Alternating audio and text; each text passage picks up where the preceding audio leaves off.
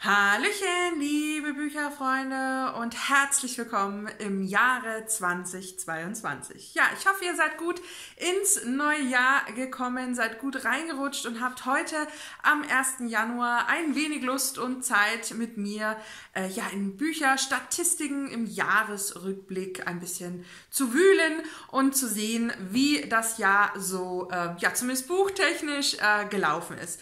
Für mich war 2021 ja kein sehr einfaches Jahr und äh, ich bin ganz froh, dass es irgendwie vorbei ist, auch wenn natürlich der Schmerz nicht aufhört, weil wir jetzt eine Datumsgrenze irgendwie ähm, ja, beendet haben oder sich verändert hat oder wir überschritten haben oder wie auch immer. Aber buchtechnisch, ich habe hier zwei DIN A4 Blätter liegen, äh, lief es tatsächlich relativ gut und ich war sehr erschrocken. Also ich war ja bei einigen Zahlen ganz schön entsetzt. Positiv und dann auch verwundert. Und ich frage mich tatsächlich, Steffi, wie hast du das eigentlich gemacht? Ja, es gab ja bereits äh, meine Jahreshighlights im Adventskalender, über die werde ich hier tatsächlich nicht ähm, im Detail sprechen. Es gab auch schon meinen Serien- und Filmrückblick und es gab auch schon den Hörbuchrückblick. Ich packe beide Videos unten in die Infobox und auch die Playlist zum ja, Jahreshighlights Adventskalender. Da werden sich jetzt demnächst dann auch die Thumbnails verändern. Einfach, dass man dann mit einem Blick sieht, um welches Buch es gehen wird. Aber für den Adventskalender sollte natürlich so ein bisschen der Überraschungsmoment sein. Ich kann sagen, er hat echt wieder Spaß gemacht. Also es kostet natürlich Zeit und Arbeit, aber das ist wirklich was, wenn man sich so im November hinsetzt, sich Gedanken macht über die Highlights, macht das sehr viel Spaß. Ich bin auch jemand, der gerne reflektiert, der sich gerne bewusst zum Jahresende hinsetzt, in einigen Lebensbereichen ansieht, wie war das Jahr, was möchte ich vielleicht anders, besser machen, was möchte ich weglassen und so weiter. Und so ist es auch ein bisschen, ja, jetzt hier bei der Statistik. Wir werden hier auf jeden Fall ein bisschen über die Flops äh, sprechen auch über Rereads, die ich ähm, ja absolut gefeiert habe. Dann habe ich auch ein bisschen Vorsätze, Ziele da. Also zum einen, wie liefen die Vorsätze für 2021 und welche Ideen habe ich sozusagen auch ein bisschen ähm, dann für das neue Jahr. Aber ich möchte gerne ein bisschen mit Statistik anfangen. Ich bin in vielen Bereichen ein ähm, ja, Zahlenmädchen. Ich bin zwar schon ein großer Freigeist und muss mich hier auch wirklich ähm, unterjährig immer so dazu antreiben, diese Statistik zu führen weil das natürlich erst im November anzufangen ähm, wäre eine Horrorvorstellung für mich. Also bei mir ist das wirklich so, so einmal in der Woche gucke ich neu zu, neue Zugänge, ich, ich, ich schreibe mir das ein, ich mache einen Monatsabschnitt, wie viel gelesen, wie viel eingezogen, was Highlights und so weiter. Und ich habe einiges äh, Spannendes auch hier mit dabei, über das ich dann sprechen möchte. Und jetzt habe ich hier schon, ich glaube, drei Minuten gequatscht. Wir fangen einfach mal an. Und zwar mit der Zahl ja, die mich tatsächlich so ein bisschen erschrocken hat, nämlich über die gelesenen Bücher, über die gelesenen Geschichten, denn nicht alles ist ja ein echtes haptisches Buch. Zu der Trennung komme ich dann auch noch. Ich habe 185 Geschichten gelesen. Ja, 185. Ich war wirklich erschüttert. Ähm, natürlich gibt es da auch einige Bücher, die ich abgebrochen habe. Dazu, glaube ich, komme ich dann irgendwie später. Das kommt, glaube ich, weiter hinten. Ähm, aber ja, es sind 185 Geschichten, die ich gelesen habe und davon äh, habe ich 18 abgebrochen. Also man kann nicht mal sagen, dass sehr viele abgebrochene Geschichten waren. Theoretisch müsste man die 18 jetzt von der 185 abziehen, also sind wir dann bei 167, die ich gelesen habe. Ja, also ich, ich, also ich musste diese Zahl erstmal sacken lassen. Ich finde sie auch jetzt noch wirklich verrückt.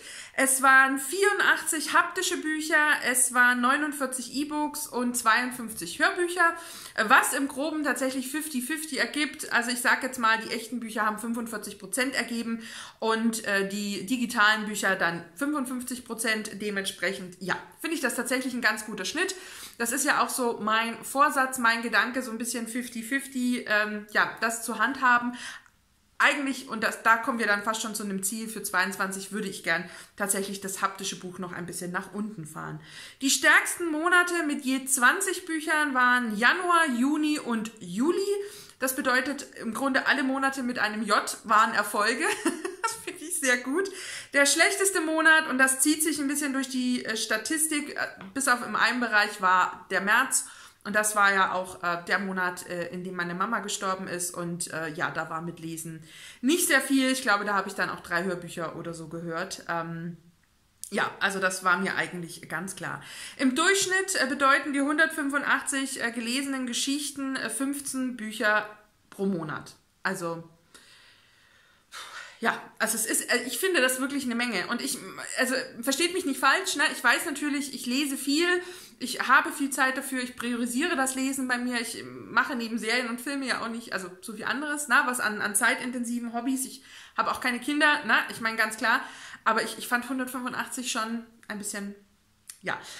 Ha, ja, zu der Sterneverteilung, da kann ich sagen, ich habe im Durchschnitt 3,8 Sterne vergeben. Ich habe ähm, 62 Bücher mit 5 Sternen versehen, 63 Bücher mit 4 Sternen, 38 haben noch 3 Sterne bekommen, äh, 2 Sterne waren dann nur 4 Bücher, das sind eher dann so Flops und Enttäuschungen und 18 Bücher, das sind eben auch die, die ich abgebrochen habe, die bekommen bei mir einen Stern, äh, weil ich sie irgendwie mit einem Stern versehen möchte. Und so kommen wir dann beim stärksten Monat, das war der März. Und das wundert mich nicht, weil ich da ähm, ja auch zwei oder drei Bücher eben gerereadet habe, die ich gefeiert habe. Und dementsprechend haben die natürlich fünf Sterne bekommen. Und ähm, ja, da hatte ich fünf fünf sterne bücher. Und da komme ich auf 4,3 Sterne, was natürlich auch bei acht Büchern nicht so schwer ist, wenn man dann fünf Highlights hat was in einem anderen Monat mit 20 Büchern dann wieder anders ausgesehen hätte. Aber ja. Und der schwächste Monat war der Oktober, da gab es nur 2,7 Sterne. Ähm, was glaube ich auch einfach daran lag, dass ich da auch wirklich äh, ein bisschen was abgebrochen habe, was ähm, dann natürlich mit einem Stern ähm, ja auch fatal ist. Aber ja, das ist auch so der, der Ausnahmemonat, äh, glaube ich, wo der März gut abschneidet, sonst ist er da immer so ein bisschen eher der Schwächere. Dann habe ich auch ein bisschen nach Genre sortiert und ich habe ähm, 18% im Fantasy-Bereich gelesen, ich habe 17% Sachbücher gelesen und äh, 16% gingen an Jugendbuch und Roman. Ähm, ich habe auch Historisches gelesen, ein bisschen was Horror.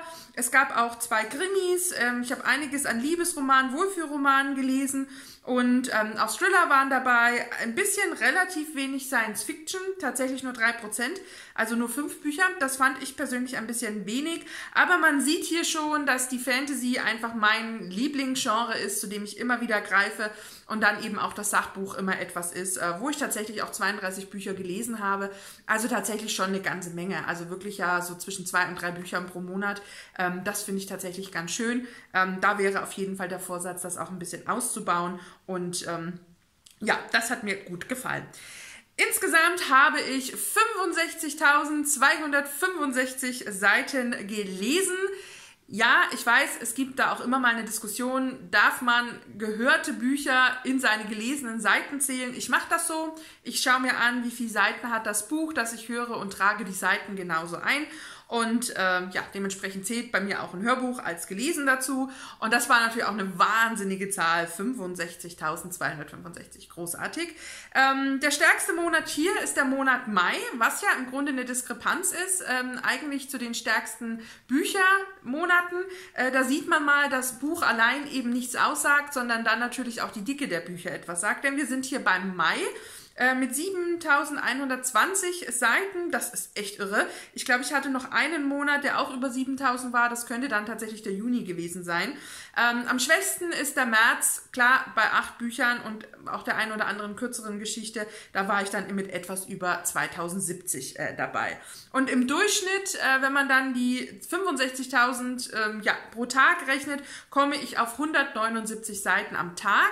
Und ja, das ist tatsächlich schon, wenn ich äh, bewusst ein bisschen darauf achte, hätte ich so vom Gefühl gesagt, ich habe so 150 Seiten am Tag. Ähm, aber es gibt natürlich auch Tage, wo man definitiv mehr liest, an einem Wochenende oder auch im Urlaub. Und äh, das ja, kann man natürlich durchschnittlich nicht ganz so rechnen.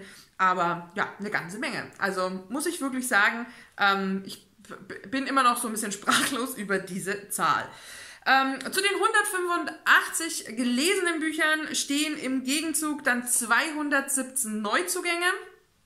Also es sind mehr Bücher eingezogen, als ich gelesen habe, was meinem Subabbau nicht gerade zuträglich war.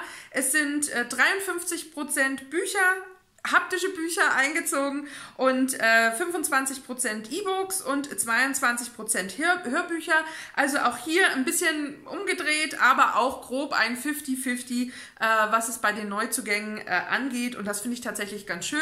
Und ich fand es auch schön zu sehen, dass es dann bei den digitalen Büchern, E-Book und Hörbuch eben auch fast ein 50-50 war. Ähm, das fand ich richtig gut. Ja, der meistgekaufte Monat ist äh, der Januar gewesen. Da sind 23 Bücher bei mir eingezogen gezogen, ähm, was glaube ich auch einfach an den Weihnachtsgutschein lag und an meinem Geburtstag, der im Januar immer so ein bisschen reinknallt. und der schwächste Monat war der Oktober, da habe ich nur 14 Bücher gekauft. Und äh, ja, es sind definitiv mehr Bücher bei mir eingezogen, als ich gelesen habe. 17 und 15 sind 32, ja, also 32 Bücher mehr, als ich gelesen habe. Ähm, ja, das ist ein bisschen schade. Aber es, ja, also auch diese, also diese Vorstellung, wenn man jetzt diese 200 Bücher komplett in haptischer Form hätte, die hier stünden, ähm, das ist eine wahnsinnige Vorstellung. Also, ja. Ha, wirklich verrückt. Ähm, ja, 33% äh, meiner gelesenen Bücher waren Highlights, denen ich 5 Sterne vergeben habe. 4% waren Flops und 10% dann eben knapp diese 18 Bücher, die ich abgebrochen habe. Ist fast ein bisschen schade, also dass man wirklich 14% äh, so ein bisschen Flop-Bücher hat. Ähm, man rechnet ja nicht damit, dass man ein Buch abbricht. Bei den Flops ist es ja noch so, man hat eine gewisse Erwartungshaltung, ähm, die nicht erfüllt wird. Ähm, das sieht man dann auch, wenn ich zu den Flops Enttäuschungen des Jahres komme. Bei abgebrochen, das ist natürlich schon immer mh, so ein Schritt, den ich gehe. Und ich habe auch überhaupt kein Problem, ein Buch abzubrechen, wenn mich das nicht bis zu einem Drittel oder 100 Seiten bis zu einem Drittel begeistern kann. Äh, da bin ich wirklich schmerzfrei. Also das kann ich ohne irgendwie ein schlechtes Gewissen. Und deswegen sage ich, man könnte jetzt die 18 Bücher natürlich von den 185 auch noch abziehen. Ähm, ja, trotzdem hätte man ja noch eine relativ große Anzahl an gelesenen Büchern oder auch gehört. Also ja, finde ich ganz okay. Ähm, ein Drittel Highlights finde ich ganz schön. Ähm, ich glaube, ich hätte gern ein bisschen mehr Highlights. Wobei dann füllt sich natürlich auch das Highlight-Regal. Alles Vor- und Nachteile.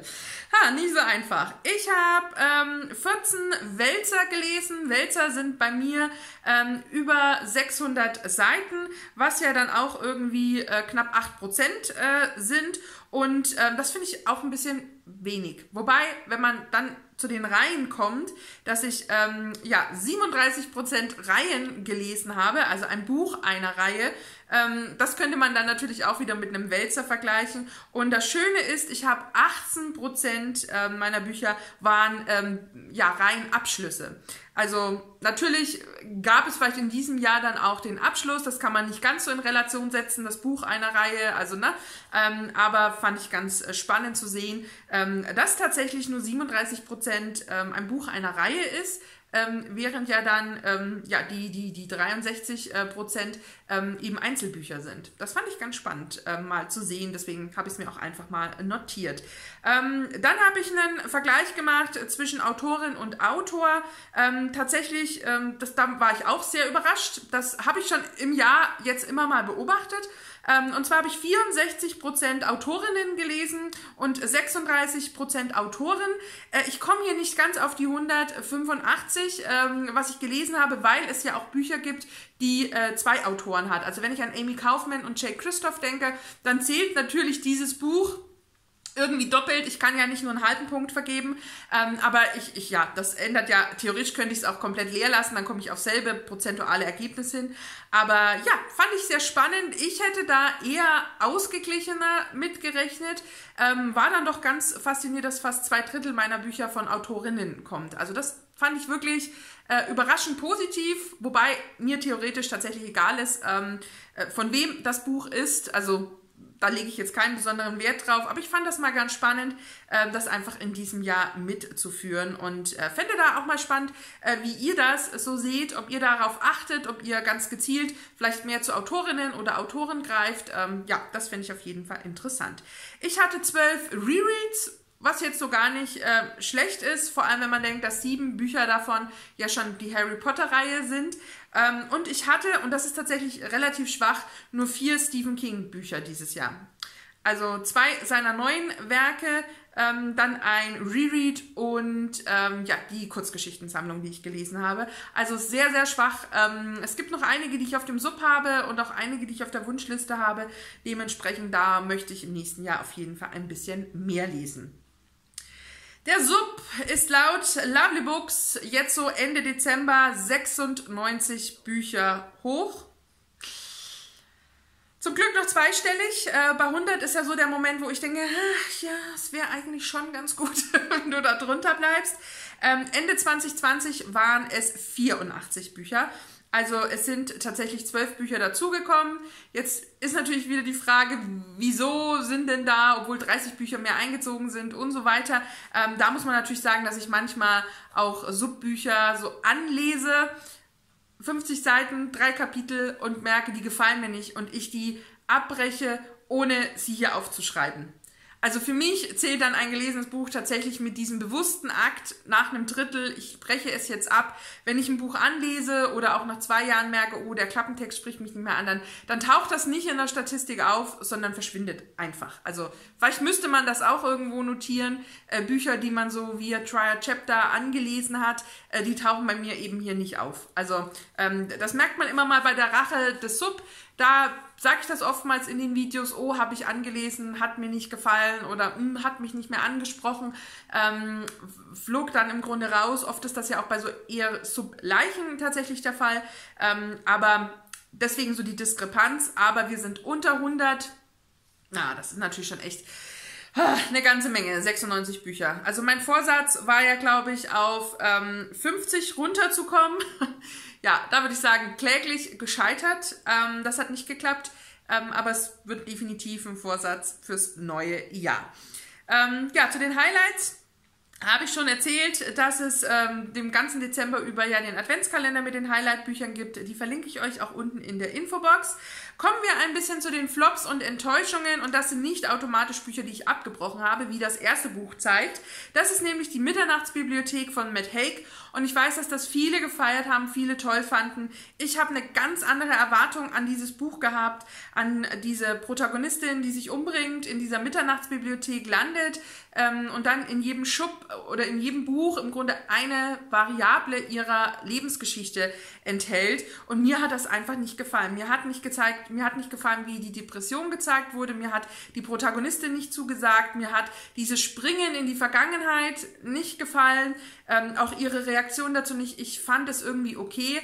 Aber es war so ein geplantes Highlight in meinem Kopf und ich war dann tatsächlich irgendwie enttäuscht. Jeder, der es gefeiert hat, freue ich mich sehr darüber. Ich gebe Matt Haig mit dem Buch, was nächstes Jahr kommt, auf jeden oder jetzt dieses Jahr kommt, auf jeden Fall eine Chance. Aber ja, meins war es leider nicht. Von Kelly Moran kam Kissing in the Rain. Das ist ja die Autorin der Redwood Love-Reihe, die ich sehr, sehr gerne mochte. Das Buch habe ich dann tatsächlich abgebrochen. Das war überhaupt nichts für mich. Ich mochte die Familie nicht. Ich mochte dieses äh, aus Freunden wird ein vielleicht scheinbar, wir spielen ein Paar Geschichte nicht. Ähm, auch dieses Best, äh, Best Friend to Lover, das ist irgendwie nicht meine Geschichte. Ich, ich mag das tatsächlich nicht. Und ich habe hier mir wirklich schwer getan mit dieser Familie, die wohl auch inspiriert ist von ihrer eigenen, die so gemeine, bösartige Familienmitglieder hatte. Also das war, ach, das war leider nichts. Dann habe ich auch ähm, abgebrochen von Julie Cohen, Das geheime Glück. Da habe ich ja im letzten Jahr die andere Welt sehr gefeiert, steht auch im Highlight-Regal und ich wollte dieses Buch lesen. Und das ist eine Geschichte, die rückwärts erzählt wird. Also wir wissen eigentlich schon, wie es ausgeht und gehen dann rückwärts wiederum mit Vorwärtsblenden. Und ähm, eine liebe Freundin von mir hat das sehr gefeiert, ich fand das richtig toll.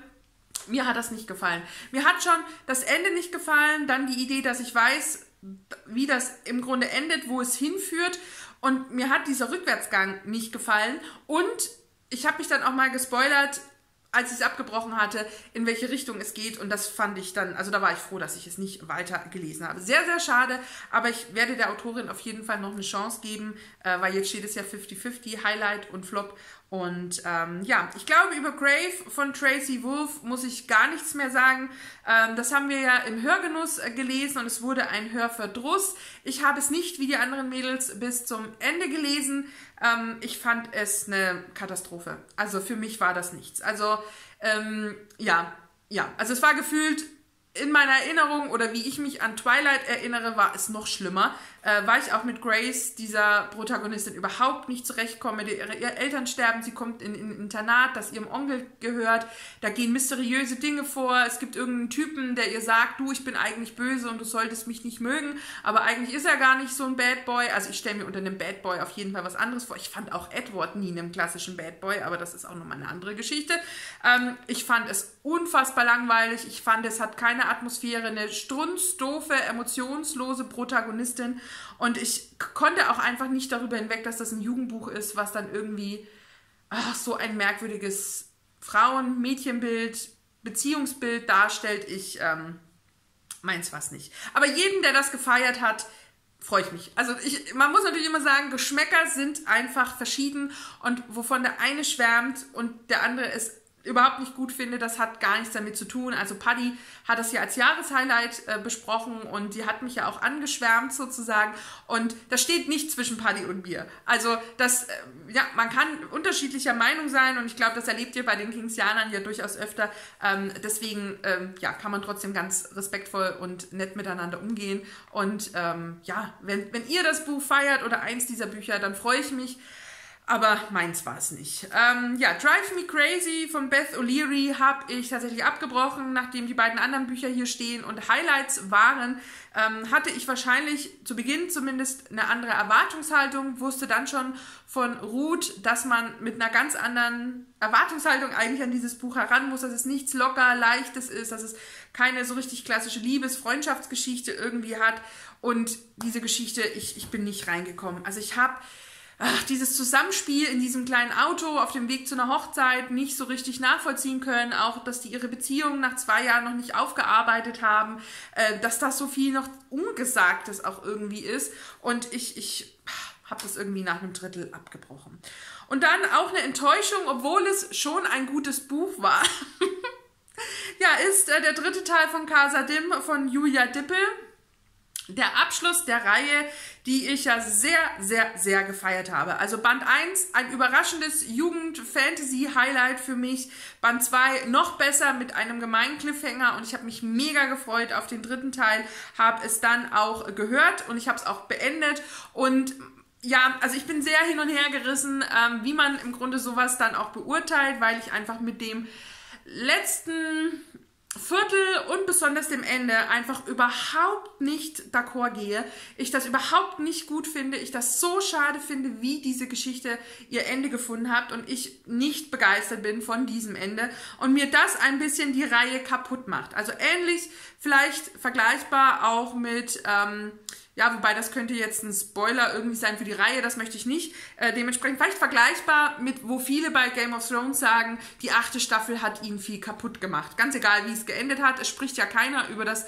das Ende eigentlich von Game of Thrones, sondern nur, wie schrecklich diese achte Staffel war. Und ähm, mit dem Ende kann man mitgehen oder nicht. Ich, ich fand das Ende tatsächlich gut, aber die achte Staffel schlecht. Und so ähnlich ist es bei Casa Dem 3, ähm, dass ich die, die Reihe gefeiert habe, dass ich auch den dritten Teil richtig gut fand. Also schreib, schreiben kann Julia Dippe, sie kann Spannung erzeugen, tolle Charaktere, spannende Wendungen, aber das Ende Nein, das war absolut nicht meins. Und ähm, ich habe jetzt schon gesehen, dass sich auch hier ein bisschen die Geister scheiden, ähm, dass das viele wirklich feiern und ein tolles Ende finden und mutig finden und so weiter.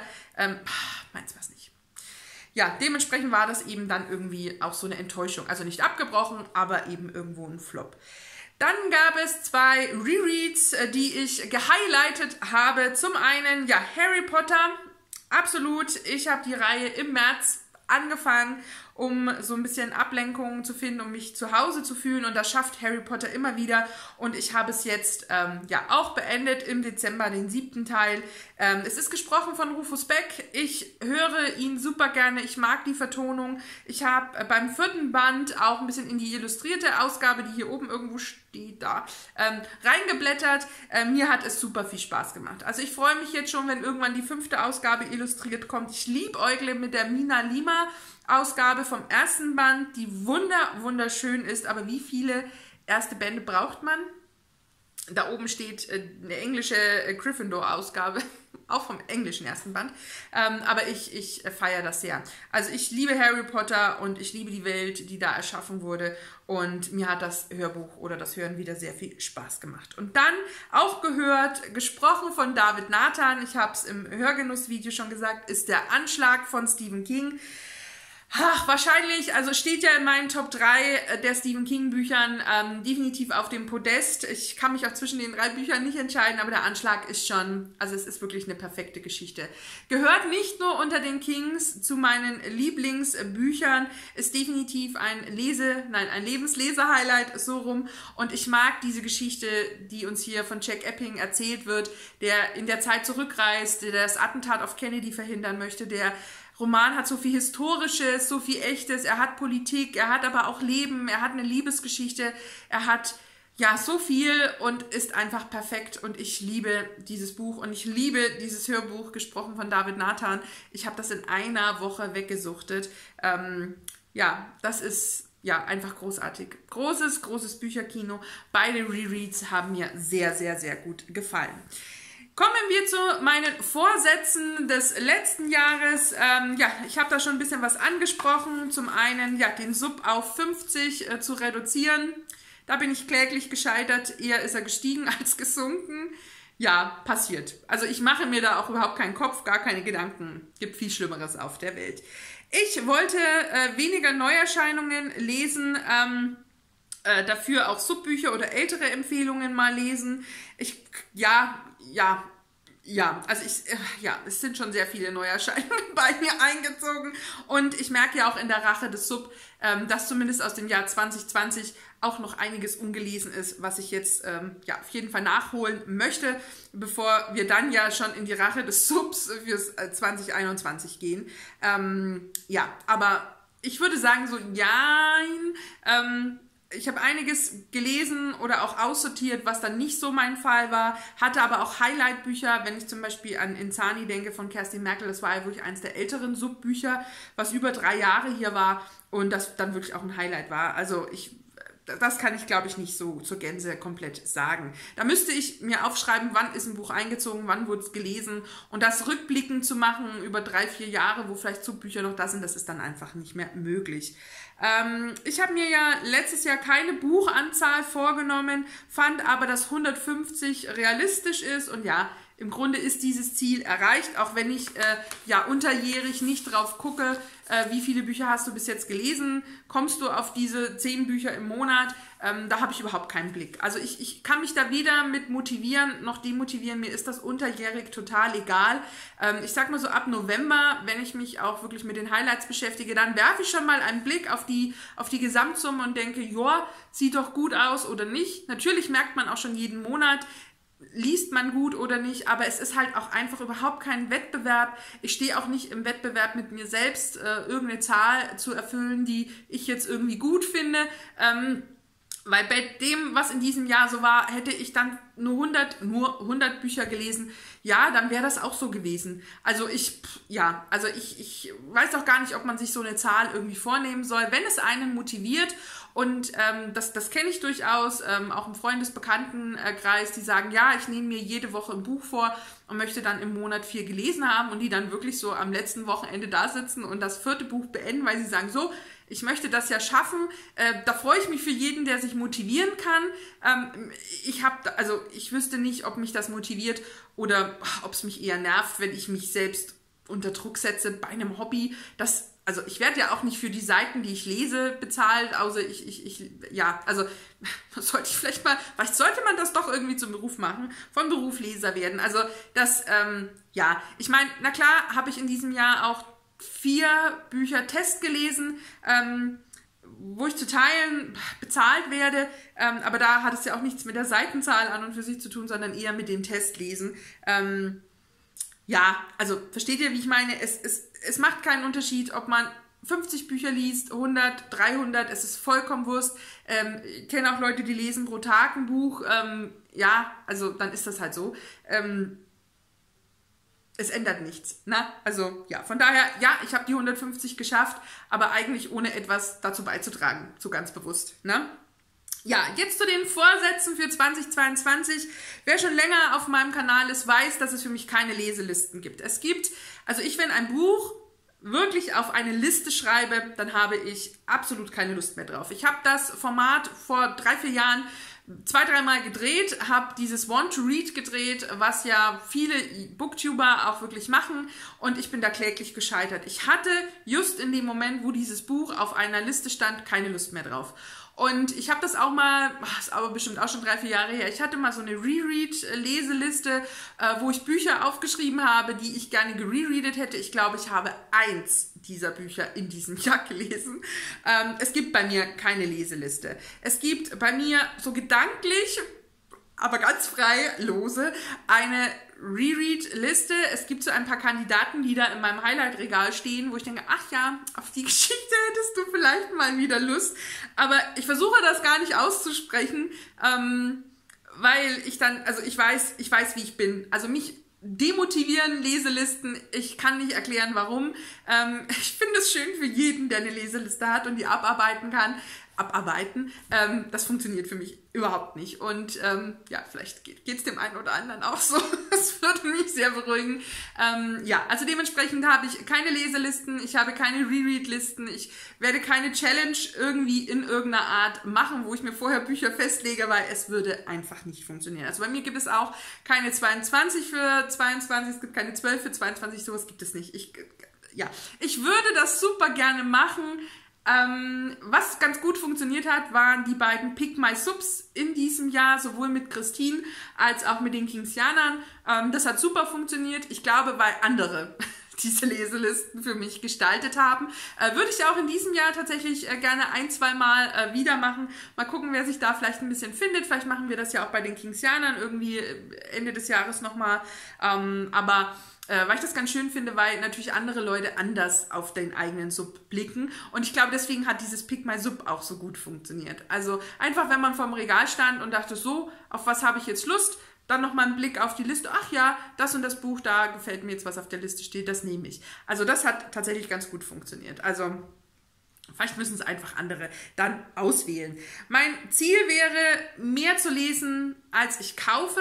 Also das würde ich gerne ein bisschen im Blick behalten. Jetzt wahrscheinlich nicht im Januar, ähm, aber würde ich mir dann doch so ein bisschen fürs Jahr vornehmen, einen Blick auf die gelesenen Bücher zu haben und zu sagen, so viel mehr sollte vielleicht nicht einziehen, als ich dann tatsächlich äh, gelesen habe. Das kann man natürlich schlecht steuern, weil man ja Mitte des Monats noch nicht weiß, wie viele Bücher wird man vielleicht lesen. Aber wenn ich jetzt weiß, dass ich vielleicht im Durchschnitt immer so, wie viel waren es, 15 Bücher? Ja, im Monat lese, lassen wir es vielleicht tatsächlich irgendwie was zwischen 12 und 13 im, im, im Monat sein, ähm, dann kann man natürlich seine Neuzugänge auch ein bisschen steuern. Ähm, auch einfach vor dem Hintergrund, muss ich denn wirklich jedes Buch immer gleich da haben.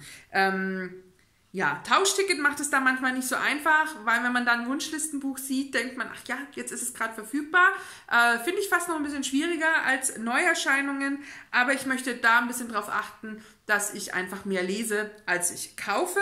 Ähm, ich möchte auch mehr digital lesen und hören, als haptisch im Regal stehen haben, was einfach auch mit den dem Platz zu tun hat. Also das Regal hinter mir ist ja, hier hätte man noch ein bisschen Platz für, für Subbücher. Also das ist ja so, ich sag mal, so ein bisschen Subregal, aber auch äh, durchaus so Sachbuch, Reisen und hier oben natürlich sowieso die Highlights.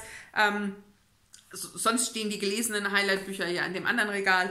Ähm, das ist, ja, also ich möchte schon versuchen, ein bisschen weniger haptische Bücher zu kaufen, eher tatsächlich zu sagen, ich, ich äh, lese es als E-Book, höre es als Hörbuch und wenn es dann wirklich das Highlight schlechthin ist, dann wird es eher einfach nochmal nachgekauft.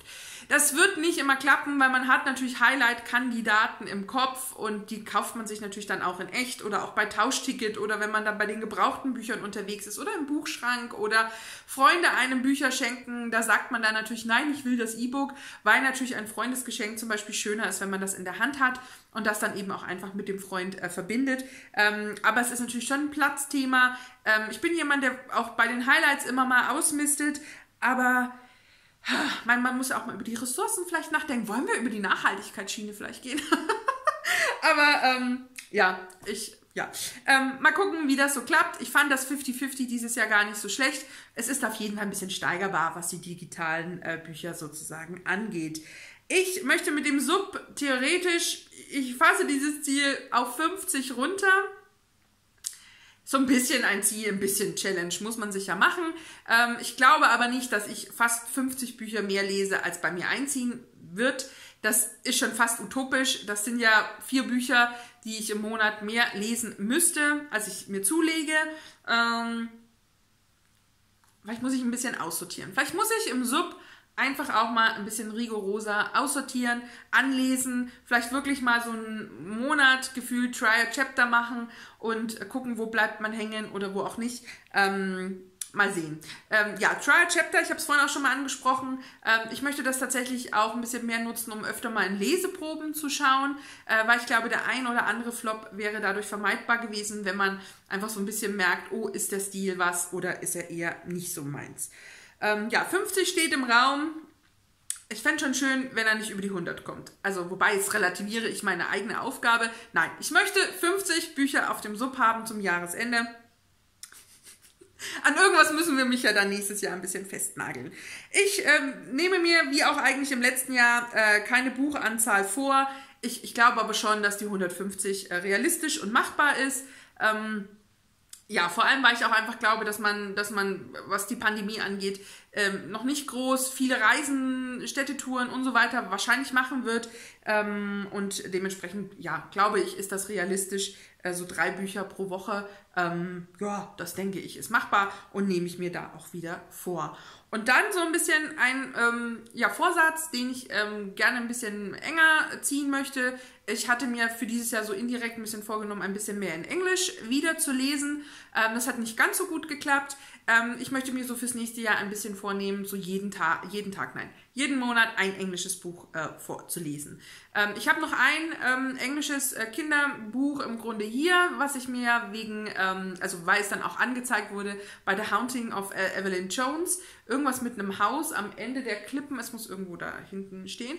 Ähm, ja, das liegt auf dem Sub, das würde ich mir gerne für den Januar vornehmen. Und ich möchte auch Evelyn Jones auf jeden Fall weiterlesen. Und äh, tatsächlich möchte ich bei Neuerscheinungen, die ich vielleicht entdecke, ähm, tatsächlich immer mal gucken, gibt es das in Englisch, ist das E-Book vielleicht auch günstiger? Und so weiter. Und äh, dann vielleicht tatsächlich ähm, gerade bei Jugendbüchern ähm, einfach das dann auch in Englisch lesen. Also Ziel wäre so äh, ein Buch im Monat. Bei mir wäre natürlich super. Ähm, vielleicht gleicht man das dann auch einfach mal mit einem anderen Monat aus. Aber das wird dann im Grunde nächstes Jahr auf jeden Fall oder dieses Jahr auf jeden Fall in die Statistik mit einfließen. Und äh, ja, mein Gedanke zu Harry Potter wäre ja auch beim nächsten Mal ähm, was jetzt wahrscheinlich nicht 22 sein wird, sondern 23, ähm, dann vielleicht auch mal zu den englischen Büchern wieder zu greifen, die ja auch hier oben irgendwie stehen. Ähm, ja, ich habe früher mehr in Englisch gelesen, ähm, tatsächlich ja auch zum Beispiel äh, das Lied von Eis und Feuer in Englisch gelesen. Ähm, also das, das, das ging früher auf jeden Fall besser, auch was ähm, ja, Erwachsenen-High Fantasy angeht ähm, ja, ich bin da irgendwie ein bisschen rausgekommen und äh, möchte da auf jeden Fall ein bisschen reinkommen. Und ja, jetzt ist das, glaube ich, schon ein relativ langes Video geworden mit ganz viel Statistik, ganz viel Zahlen, mit Vorsätzen, Flops und ja, es war irgendwie ein, ein, ein merkwürdiges Jahr. Das zweite Jahr sozusagen ja auch ein bisschen mit, ein bisschen äh, mit der Pandemie. Ähm, es war trotz der Schwierigkeiten und der nicht so schönen Dinge in diesem Jahr. Gab es aber natürlich auch Highlights in diesem Jahr, wenn ich da an meinen Ägyptenurlaub denke, wenn ich an das Max Giesinger Konzert denke, wenn ich an Dune im Kino denke und das ist natürlich nur so ein kleines Highlight, aber es war wirklich ein Highlight. Ähm, ja, also es gab schon auch einiges Schönes. Man vermisst natürlich auch Dinge, ähm, sei es Buchmessen, also es gab dieses Jahr oder letztes Jahr auch keine Leipziger Buchmesse, wer weiß, ob das im März diesen Jahres stattfinden kann, ich bin da auch noch sehr hin und her gerissen, ähm, ob man das plant oder eher nicht oder spontan oder wie auch immer. Ähm, ich weiß noch nicht, ob es dieses Jahr eine Reise geben wird, weil ich für 23 eine sehr große, weite Reise geplant habe. Möchte das gar nicht so laut aussprechen, weil oh, ja, man auch nicht weiß, was in dem Jahr irgendwie so ist. Ähm, aber ja, mal gucken, was dieses Jahr so bringt. Ich hoffe, wieder ein paar schöne Begegnungen. Ich ähm, freue mich auf Highlights, die auf, auf Hangouts, die dieses Jahr stattfinden werden. Also egal, ob es der regelmäßige Hangout mit Anka und Becky ist, mit den Kingsianern, ähm, vielleicht auch mal einfach zu anderen Themen Hangouts. Also ähm, ja, das ist was, was ich super gerne mache. Und ähm, ja, ein Jahr geht vorbei. Ähm, für euch ist es ja schon rum. Ähm, ich stehe davor und ähm, ja, eigentlich ja, möchte ich gar nicht sagen, es soll besser werden. Ich würde eher tatsächlich ein bisschen pessimistischer dieses Jahr ähm, titulieren und sagen, es soll nicht so schlimm werden, so persönlich wie für mich äh, 2021 war. Ähm, ja, also ich, letztes Jahr hat man ja gesagt, ja, so schlimm wie 2020 kann 21 gar nicht werden. Ähm, ja. Ja, aber ich bin ein, ein Optimist. Ich, ich äh, glaube, ich habe schon eine sehr sehr optimistische Grundeinstellung. Ich bin ein sehr lebensfroher Mensch und ähm, das hilft natürlich an, an vielen Stellen, dass man das von Grund auf ist und auch Werkzeuge kennt, die man eben nicht erst anfängt, wenn man eigentlich in, in so einem Loch, in so einem Tief ist. Und jetzt wird das total philosophisch. Ähm, ja, das, das, das, ähm, ja. ja. Ich glaube, wir beenden diesen Jahresrückblick jetzt, bevor er irgendwie äh, ja, noch schlimmer wird trauriger oder deprimierender. Nein, wir gucken positiv in die Zukunft. Ähm, 2022, das Jahr besteht bis auf eine Null nur aus zwei. Das kann doch eigentlich nur gut werden. Ähm, und dementsprechend, ähm, ja, wollen wir einfach hoffen, dass das ein tolles Jahr wird, ein schönes Jahr wird ähm, und ähm, ja, dass wir da schöne Begegnungen haben, tolle Bücher haben, ähm, tolle Videos, wunderbare private Dinge und ja, ich bin super neugierig, ob ihr Statistik führt, wie eure Statistik aussieht, wie viele Bücher ihr gelesen habt, ob mehr gelesen als gekauft oder umgekehrt. Lasst mich das super gerne in den Kommentaren wissen. Ich weiß, das Video hat jetzt definitiv sehr lange gedauert, aber ich hoffe, ihr hattet ein bisschen Spaß äh, damit und habt euch vielleicht auch mit einem Kaffee ein bisschen ähm, zurückgelehnt und das auch einfach genossen und ähm, mir hat es auf jeden Fall Spaß gemacht. Also ich mag Statistiken, ich gucke das auch bei anderen super gerne und ähm, habe eben auch selbst gerne zurückgeblickt in, in, in meiner Statistik und 185 Bücher, das ist natürlich schon, ja, das ist so die allumfassende Zahl, die da so im Raum steht. Das ist natürlich schon fast zu viel des Guten, oder? Ja, also lasst uns gerne in den Kommentaren ein bisschen austauschen, vielleicht auch mit euren Zielen, äh, wie ihr die für 2021 erreicht habt oder was ihr euch für 2022 vornehmt, sehr, sehr gerne unten in die Kommentare, würde ich mich sehr freuen. Ich danke euch fürs Zusehen, für dieses wunderbare YouTube-Jahr und in 2022 habe ich ja zehnjähriges Jubiläum. Also es ist auch echt verrückt. Ähm, mal sehen, was wir uns da so ein bisschen einfallen lassen. Und ich danke euch jetzt fürs Zusehen, wünsche euch einen wunderbaren Start in 2022 und ähm, ja, hoffe, ihr hattet Spaß und begleitet mich auch im neuen Jahr äh, wieder bei den Videos. Ähm, ja, wünsche euch jetzt einen schönen Tag, einen schönen Abend, ein wunderbares Wochenende, einen guten Start ins neue Jahr und lasst es euch gut gehen bis zum nächsten Video. Tschüss, eure Steffi.